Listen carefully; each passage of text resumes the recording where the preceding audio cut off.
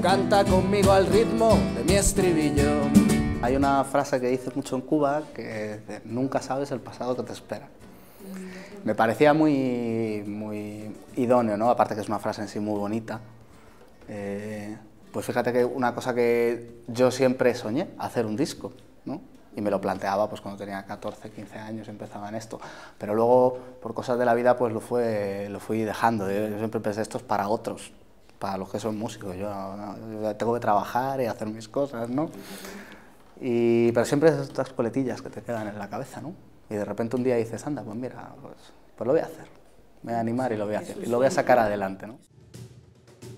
En el disco han participado gente de, de, todos los estilos y de todas las... Porque, por ejemplo, Jorge, Jorge Cavadas, el productor, eh, viene de un mundo completamente diferente y, sin embargo, nos ha encauzado, cada canción la ha ido encauzando hacia un poco que se diferenciaran y, con las colaboraciones ha resultado eso, que cada canción la oyes y dices, anda, mira, qué, qué, diferencia. Bueno, es que el toque es de Rubén, porque son las canciones de Rubén, es su, es su estilo, pero hemos conseguido, a partir de las diferencias que ya había en las canciones, en algunas marcadas bastante bien, pero eh, se ha ido mucho más allá.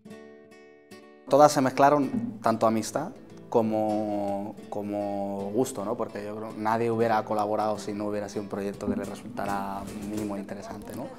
Pero fíjate, pues Iván Torres, que es el cantante de Feto Pasillo, pues resulta que también es muy amigo de toda la vida del bajista. Chiqui Lora y Mr. Quilombo, pues son viejos amigos míos de, de, la época de Malasaña también, de con 18, 19 años, tocar la guitarrita en la plaza, y ahí nos conocimos, ¿no? Luego Luis Cruz, que bueno, hay que decir que fue impresionante cuando llegó al estudio, la verdad nos quedamos todos boquiabiertos con la energía que tenía y con cómo tocaba, pues también resulta que ha trabajado mucho con los técnicos de sonido del estudio.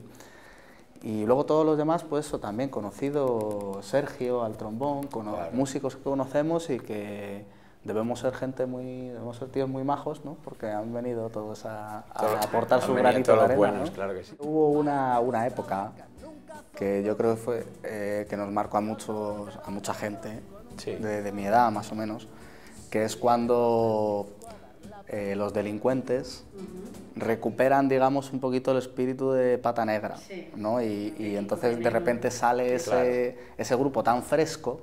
Yo nunca había, la verdad nunca había escuchado nada ni siquiera ni parecido al flamenco, pero de repente yo tenía 17, 18 años, sale ese grupo tan fresco que eran los delincuentes, de un buen rollo. A todos y, y, ahí, salen un montón de, de grupos. Claro, y se mezcla con otras cosas, entonces acerca un poquito lo del sur, lo acerca también a la gente de aquí. Entonces salieron un montón de grupos a partir de allí, ¿no? Y yo por aquel entonces no era músico, ¿eh? bueno, o sea, sacaba la guitarra a la plaza y tocaba con mis amigos esas canciones. A partir de ahí empecé a escuchar a Kiko Veneno y, salieron otros grupos pues como el Combolinga, por ejemplo, sale también El Bicho con un nivel musical alucinante, ¿no? Y sale un grupo que, que aunque se le conozca más por sus canciones rumberas, eh, es sin duda alguna la influencia mía, que es La Cabra Mecánica. La canción se llama El Paraíso de los Ladrillos y la escribí, pues una sátira política. La escribí en los momentos en los que estaba empezando a salir toda clase de escándalos.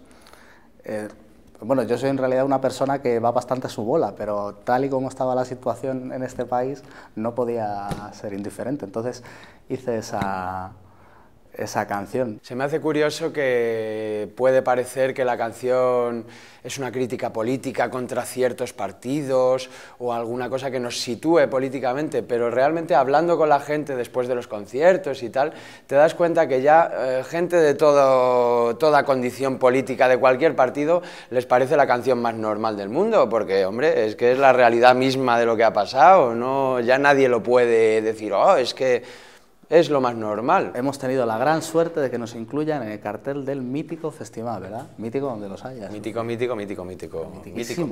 ¿eh? 28 de abril, 28 de abril, Sala Contra Club, ¿verdad? ¿A qué hora, Iván? Eso te iba a preguntar, no lo sabemos. ¿A las 9? a las 9 y media. Ah. Malandro en la Sala Contra Club, dentro del cartel del Festival 2017. Os esperamos a todos allí. ¿eh? Venir. ¿eh? Y sacando las entradas, que están volando. Vuelan. Vuelan, me las quitan de las manos. Tengo una por.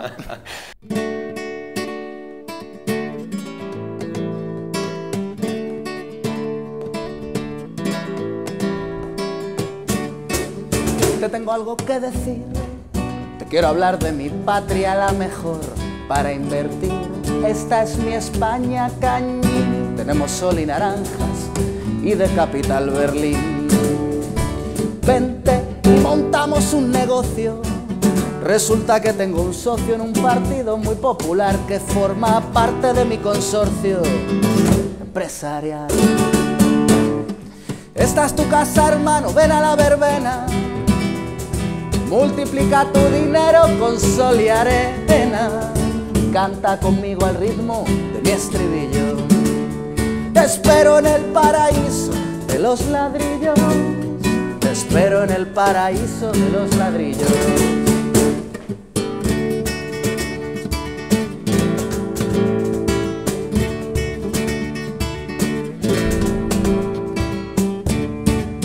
Y te lo digo tal cual, aquí en mi reino le untamos hasta la casa real. Y si las masas se alteran, una semana en la trena, orden constitucional. Y si un juez encontrara una evidencia, no te preocupes, paciencia, tengo un primo concejal, un porcentaje a su excelencia, todo legal. Para que nuestra barca nunca zozobre, yo todo te lo arreglo con un buen sobre. Si vienen los del fisco a dar la paliza. Tranqui querido hermano, nos queda Suiza. Tranqui querido hermano, nos queda Suiza. Y esta es tu casa, mira, ven a la verbena. Multiplica tu dinero con sol y arena. Canta conmigo al ritmo de mi estribillo. Te espero en el paraíso de los ladrillos. Te espero en el paraíso de los ladrillos.